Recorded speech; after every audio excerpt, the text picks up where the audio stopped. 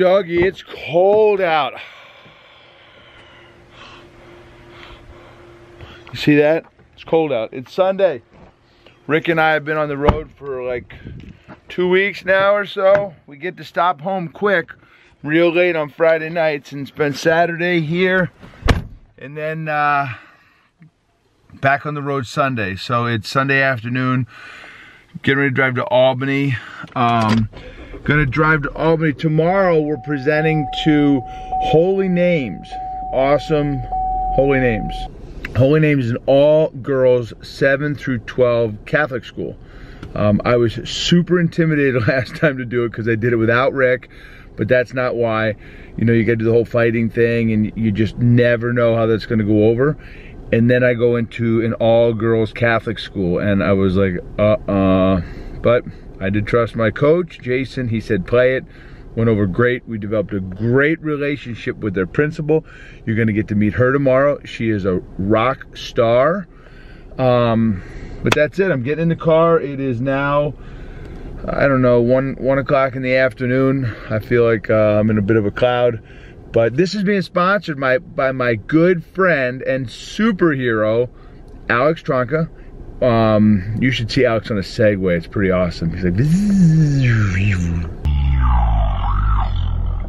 just like that. Anyway, um, Rick actually rode the Segway once. He almost crashed and died.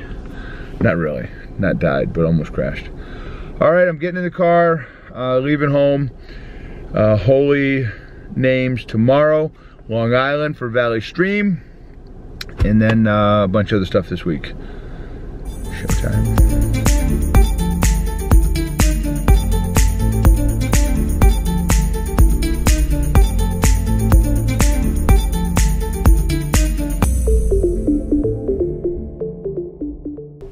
Just got to the Fairfield Inn here in Albany. All right, Fairfield Inn, that's where we're staying tonight. Boom. Gotta get my stuff inside. And uh, gotta get a little work done tonight too. Even superheroes have to do their homework. All right, so it's 10 o'clock and I've been sitting at my computer since I got to the hotel. Muscles don't happen without reps. Uh, you got to put the reps in here. We're working on a new program called Braves. It's a student leadership program which takes uh, high school students and has them do bully drills or play with little kids. Uh, essentially, uh, practicing things like stop, drop, and roll. Um, but for bullying and those kind of behaviors that we know our kids are going to face when they get older, but we're going to train them. But I get to do lots of fun stuff with my bully drills because I believe in making it fun. So I name my bully drills after bad guys, Marvel or DC characters. And there's one that I call um, Loki. Now Loki was mischievous. He was the prince of lies. And you get that kid, maybe in the fourth grade or fifth grade, that makes faces at you, tease you, teases you, and the, you know every time the teacher comes around or looks over, the kid stops. I call that the Loki. So what I do is I set up a bully drill and I get kids to practice doing that.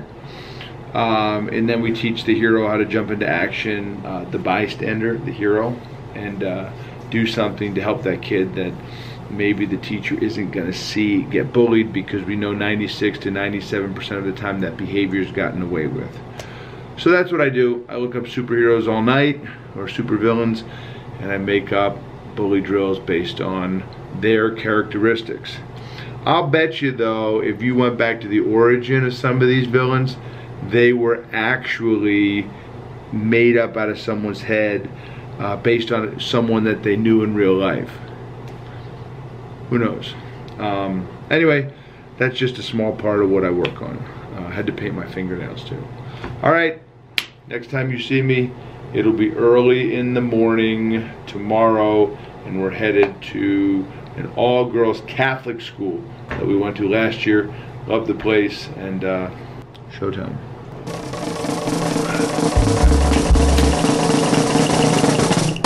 Boom. All right, so I just arrived, Holy Names. Um, I'm gonna see if I can figure out why they call it Holy Names. Maybe that's a uh, project for history with Rick. Um, let's see what old record is. Rick, Hey, what's up? what are you doing? Driving. Hey, they changed the time, To what? 9.30. Right? No, not really. All right, well, just uh, buzz me when you get here. Alright, sounds good. All right, see you. So there's Rick. He wasn't here last year, so this will be a special surprise for them. Usually, year two, we do a cyberbullying presentation, um, but they haven't seen Rick. I may have mentioned him in the last year's presentation, but they haven't seen him, haven't heard his story. So I'm going to just shorten up perspective, maybe just talk about it a little bit differently, and then let Rick at him. And I think it'll be a giant impact for him. So I'm gonna go in, bring my stuff in, start getting set up, and uh, got plenty of time this morning because we have a little bit of a late start. Anyway, uh, my buddy Alex Tronco uh, from Northwest Mutual is the one that's making this happen. So super grateful to Northwest Mutual um, and the superheroes there. Do not open this door, please. It's not an exit. Rick Yarosh, everyone! Woo! Rick, can't you read? Tom Murray, what's happening?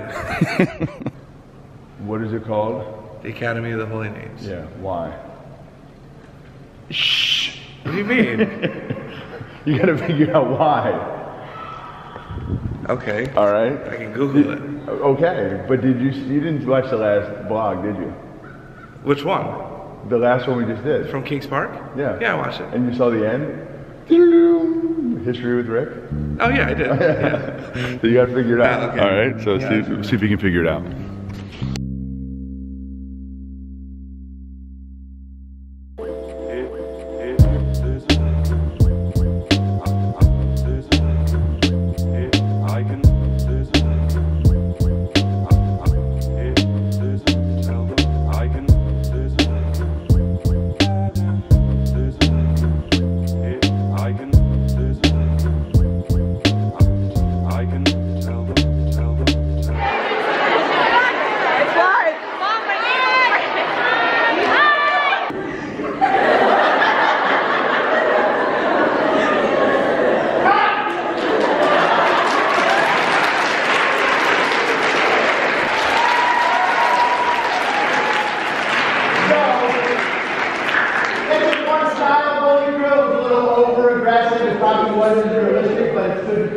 And get everybody used to it. You did great.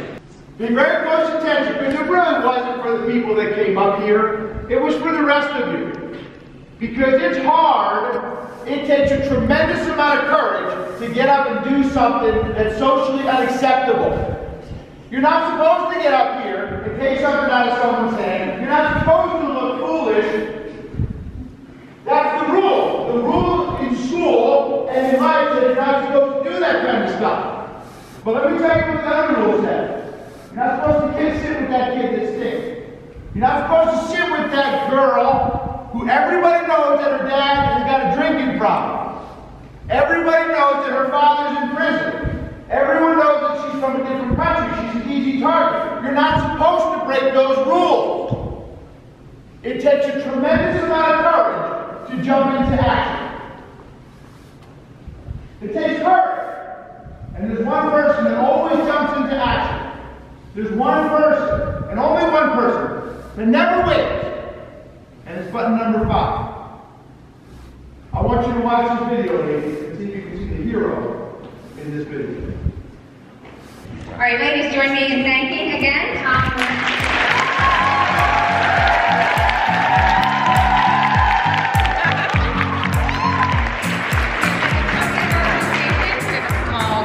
Thank you. for each of you.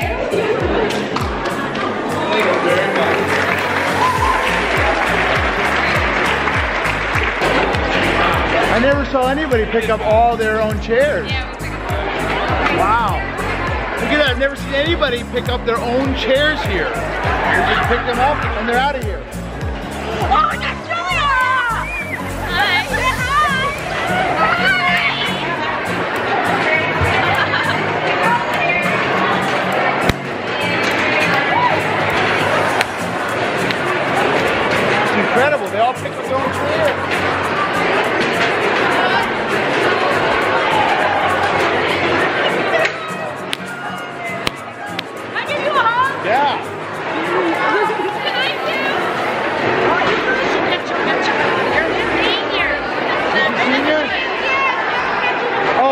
My camera?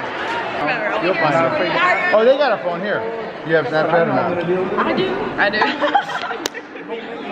Wait, how do you do it again? You just take a picture. What are you gonna do? Yes, we got it. You want me to find one of the ninth graders to show you? I was like, Joe, how are you? Well, that's what they do to me. I'm like, I can't figure something out, and they're like, oh. I'm coming back after run. Oh, thank you. so much. All right, here. Um, yes. Have a hug.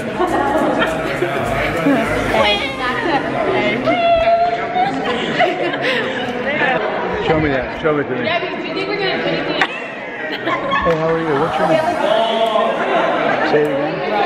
Thank you so much. I really love it. Say your name. Rumsha. I was watching. Oh my god. No, you made an impact on my heart. What's that? Oh, this my homework. Oh, okay. Thank you. Page. Mostly here, honestly. Yeah. Up to like. Okay. Go, go, go this way. The light in the background will screw it up. So, Can't hear. What I say to young people all the time is don't be afraid to ask Rick some tough questions, you know, because it's not every day you get to talk to somebody that got blown up and, Yeah. and There's he's got no rarely a question that's off limits. I actually haven't had one yet. And I had a kid, I had a kid recently just asked me, he said, do you sleep with your socks on? And I'm like, well, I sleep with a sock on, or no, not at all, because I have one leg. And then he's, then he's like, what else do you sleep in? And I'm like, okay, with this, now you're reaching a little bit. That might be a little bit inappropriate. But I still answered it. I told him shorts and a t-shirt. You have the College of St. Rose, which Is this, uh, that- that's her? Rose, Blessed Mother Mary Rose. That's her. Rick, did you get the history yet? no, not yet. All right. You gonna?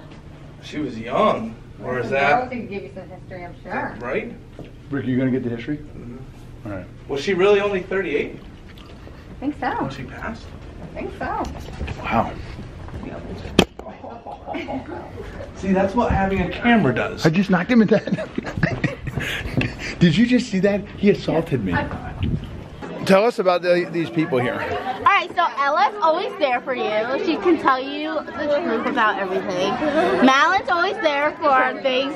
Nalin's always there to forgive, and Nalin is always there To like, forgive, you said? Yeah, she's always forgiving. That's big Sam time. is always there just because Sam is just awesome. Give me your hug here for a second. Malin is always there because she she can relate to everyone. Relate. Piper's always there because Piper's just awesome. Riley's always there to give you the support. Alex, yeah, Allie's over always there to make you laugh. To make you laugh. Mark is there to help you with dance. Haas is always here to give you the reality of life. Kate's always there to Kate's there for Clif bars. Kate's there for tennis Then you have Faith there. Faith is always so trustworthy. One's always you see, our whole class is just awesome. Now, you know what you just did? She just went around the table. This is big time. This is high level, right? She went around the table and she told you what your superpowers are. And they're not all the same for everybody. Like hers is forgiveness and yours is dance, right? And hers is, you said, Reality. reality. So she's given all of these amazing superpowers that you all have. You got to learn to use your superpowers to save the world, right? Yeah. Yeah. Oh, thank you. What's her superpower? Sandra? Being hilarious. Oh, funny. Right? She's, she's contagious, isn't she? You're welcome. Oh Again, Piper's always there to help you look good. Yeah, you had something.